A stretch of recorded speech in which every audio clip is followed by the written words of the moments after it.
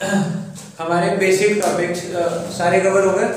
कल हमने last topic जो कवर किया, उसका नाम था issue of share for consideration other than cash वो टॉपिक भी हो गया हमारा कंप्लीट फिर भी कोई डाउट्स हो तो आप बाद में पूछ लेना मेरे से। फ़िलहाल लास्ट नेक्स्ट टॉपिक जो इस चैप्टर का एक इम्पोर्टेंट टॉपिक काउंट होता है, जिसके ऊपर हमारे सारे लॉन्ग क्वेश्चन डिपेंड करते हैं, उसका नाम है ओवर सब्सक्रिप्शन ओवर सब्सक्रिप्शन का पहले तो मतलब समझते हैं क्या होता है ओवर सब्सक्रिप्शन ओवर सब्सक्रिप्शन का मतलब है, देखो, हमने, यानी कि हमारी कंपनी ने इशू करे हैं वन लाख शेयर्स ठीक है? और पब्लिक ने जो एप्लीकेशन भेजी है, यानी कि उन्होंने जो अप्लाई करा है, जो सब्सक्रिप्शन आया हमारे पास, वो आ गया one lakh twenty thousand shares it means हमारे पास जो एप्लीकेशन आ गई जो लोगों ने भेजी वो एक्स्ट्रा आ गई। कितनी एक्स्ट्रा आ गई? ट्वेंटी थाउज़ेंड एप्लीकेशन एक्सेस में आ गई। ठीक है? अब एक्सेस मनी को हम क्या करें? एक्सेस मनी के साथ हमारे पास तीन ऑप्शन होते हैं देखो। या तो हम पूरी तरह से पैसे को रिजेक्ट कर दे वापसी भेज दे। जिसने एक्स्ट्रा मनी भेजी है उसको कहें वापसी ले लो।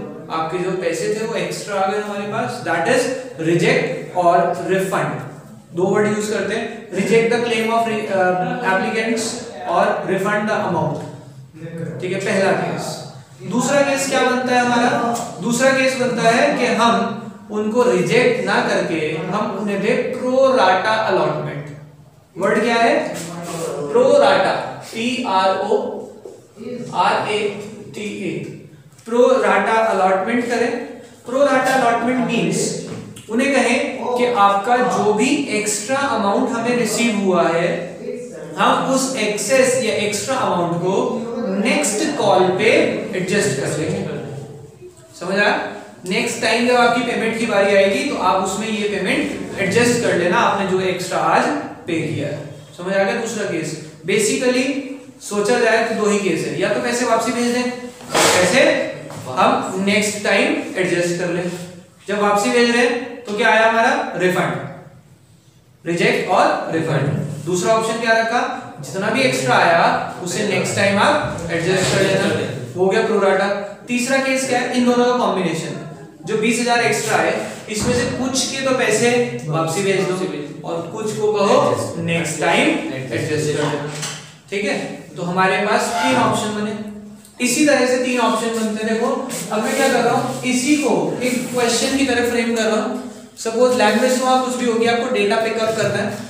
क्या लिखा है? ABC limited issue one lakh shares of rupees ten each तो मैं यहाँ और ऐड कर रहा हूँ डेटा कितने का शेयर है? Of rupees ten each payable as उन्होंने बता दिया टू थ्री थ्री टू यानी कि एप्लीकेशन अलॉटमेंट फ़र्स्ट कॉल और सेकेंड एंड फाइनल कॉल इस तरह से हमें इंफॉर्मेशन फिर उसके नीचे लिखा है however the applications were receive for one lakh twenty thousand share application कितने के लिए आ गई?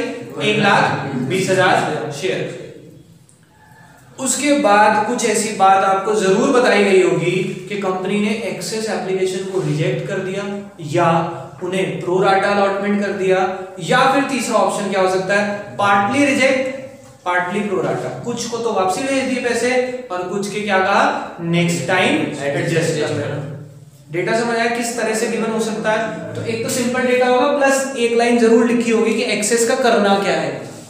ठीक है? तो उस लाइन पे फोकस करेंगे। साथ ही हम तीन केस बनाते हैं।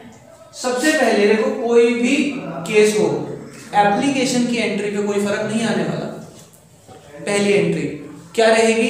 एप्लीकेशन की जो नॉर्मल एंट्री रहती है bank account debit to share application कितने से आएगी? बारह one lakh twenty thousand share into two application कितने से आएगी? दो रुपए की एप्लीकेशन है। कितने शेयर पे आई एप्लीकेशन बनी? One lakh twenty thousand share one twenty into two two lakh forty thousand share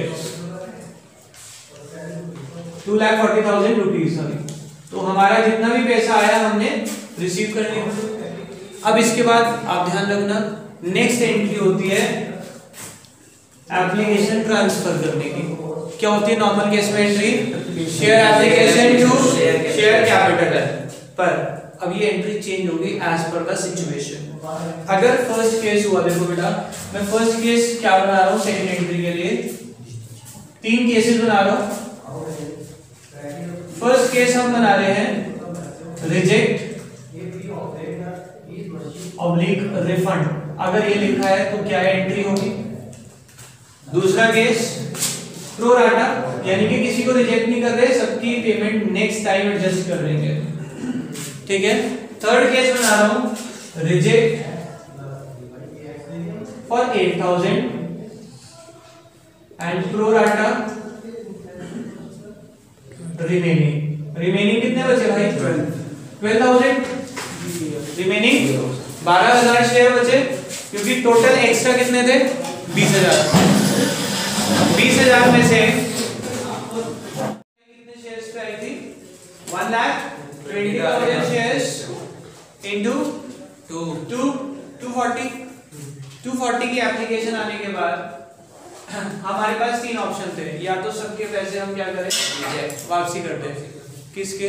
जो एक्स्ट्रा कितने एक्स्ट्रा आए थे? ट्वेंटी ट्वेंटी थाउज़ेंड एक्सेस था। एक्सेस अमाउंट को या तो हम वापसी भेज दें पहला ऑप्शन दूसरा ऑप्शन था उनको प्रो राटा यानी उन्होंने कहे जो आपने एक्स्ट्रा पैसे दिए उसे नेक्स्ट कॉल पे एडजस्ट करेंगे। या फिर हम दोनों का मिक्सचर कि भाई आठ हज़ार को तो रिजेक्ट करेंगे। बाकी जो बचे हुए हैं, उसे कहेंगे कि आप अगले टाइम एडजस्ट कर लेना जब आपने नेक्स्ट बैलेंस पे करना होगा।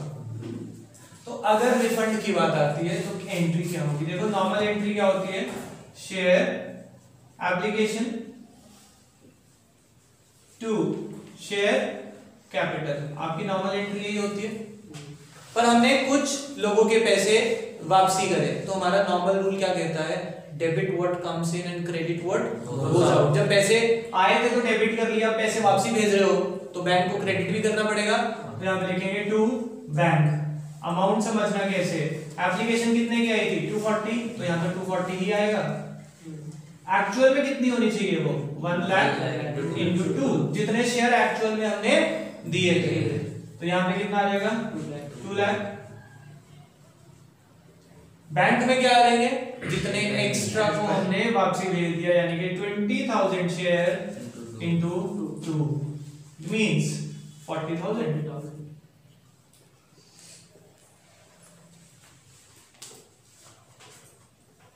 समझ आ गया सेकेंड केस हमारा था किस चीज़ का? प्रोराटा का। प्रोराटा में हमने क्या करा था? मैंने आपको कॉन्सेप्ट बताया कि जितना भी एक्स्ट्रा है यानी कि ये बीस हज़ार शेयर पे जो एक्स्ट्रा पैसे आए थे पहली बात तो क्या करा? वापसी भेज दिए दूसरा ऑप्शन क्या है? उन्हें कह दिया कि भाई वापसी नहीं दे रहे आपको पैसे आपके जो एक्स्ट्रा आए हैं उसे हम नेक्स्ट टाइम एडजस्ट कर नेक्स्ट टाइम मतलब एप्लीकेशन से नेक्स्ट क्या होता है? अलॉटमेंट यानी कि आपका जो पैसा होगा उसे हम अलॉटमेंट पे एडजस्ट कर देंगे यानी देखो हमारी एंट्री लगभग सेम रहती है। Share application debit to share capital to share allotment क्योंकि एक्स्ट्रा जितना था कहाँ चला गया? अलॉटमेंट में। तो क्या दिक्कत है? जब उन्होंने कहा एक्स्ट्रा वापसी भेज दो तो टू बैंक कर दिया। उन्होंने कहा एक्स्ट्रा को जो है प्रोराटा बेसिस पे ले जाओ। प्रोराटा मतलब अगली कॉल पे ले जाओ। तो हम अगली कॉल पे ले गए। ले लो बात? तो यहाँ पे हमारा अमाउंट कितना आएगा? यहाँ 240 ही आएगा। यहाँ कितना आएगा? जितने शेयर एक्चुअल में हमने दिए one lakh into two rupees की थी एप्लीकेशन टू लैक्स और अलॉटमेंट में क्या चला जाएगा? जितना एक्स्ट्रा था ट्वेंटी थाउज़ेंड इंटू टू यानी के forty thousand clear next next क्या है हमारा? हम पार्टली रिजेक्ट करेंगे और कुछ पार्ट को प्रोराटा अलॉटमेंट मैंने केस लिखा था कि हमने 8000 को रिजेक्ट कर दिए। और बैलेंस जितना भी बचा उसको क्या करा? प्रोराटा अलॉटमेंट कितना बैलेंस है? ट्वेल्व थाउज़ेंड का बैलेंस है क्योंकि टोटल बीस हज़ार एक्स्ट्रा आए थे शेयर्स ठीक है? तो इस केस में क्या होगा देखो? नॉर्मल एंट्री रहती है क्या? Share application debit to share capital ये तो नॉर्मल एंट्री होती है। बैंक वाली एंट्री के बाद दूसरी एंट्री यही होती है। Share application to share capital जिसके वापसी करे उसे लिखते हैं टू बैंक बैंक और जिसको कहा नेक्स्ट टाइम एडजस्ट करेंगे अलॉटमेंट एप्लीकेशन कितने की है? दो लाख चालीस। हज़ार। शेयर कैपिटल में कितना आएगा? वन लाख इंटू टू जितने शेयर एक्चुअल में दिए हैं टू लाख बैंक में जितने भी पैसे रिजेक्ट करे कितने शेयर रिजेक्ट करे? आठ हज़ार इंटू टू यानी कि सिक्सटीन थाउज़ेंड और अलॉटमेंट में जितने एक्स्ट्रा हो बारह हज़ार इंटू टू यानी कि ट्वेंटी फोर थाउज़ेंड यहाँ तक कोई प्रॉब्लम किसी को समझ आ गया? अब आगे कंटिन्यू करते हैं। पहली एंट्री रिसीव हो गई दूसरी एंट्री ट्रांसफ़र हो गई। Next entry is for allotment allotment की एंट्री क्या रहेगी? Normal share allotment debit to share capital कितने से होगी एंट्री ध्यान से सुनना। देखो जितने भी एक्स्ट्रा आए थे हमने यहाँ एडजस्ट कर लिए। अब क्या करेंगे? अलॉटमेंट नॉर्मल चलेगी एक लाख शेयर से जितने शेयर हमने एक्चुअल में इशू करे क्योंकि अलॉटमेंट तो उसी पे आएगी ना। जो एक्स्ट्रा था वो एडजस्ट कर लिया ऊपर। समझ आ गई बात? जितने बीस हज़ार एक्स्ट्रा थे या तो वापसी भेज दिए या उनको कह दिया नेक्स्ट टाइम एडजस्ट करेंगे या कुछ रिजेक्ट कुछ नेक्स्ट टाइम तो अलॉटमेंट ड्यू तो पूरे से ही होगी। कितने से? जितने शेयर लोगों को हमने दिए हैं। कितने शेयर दिए एक्चुअल में? कितने शेयर दिए हमने यहाँ पे? एक लाख। ठीक है? तो एंट्री होगी एक लाख इंटू तीन। तीन लाख?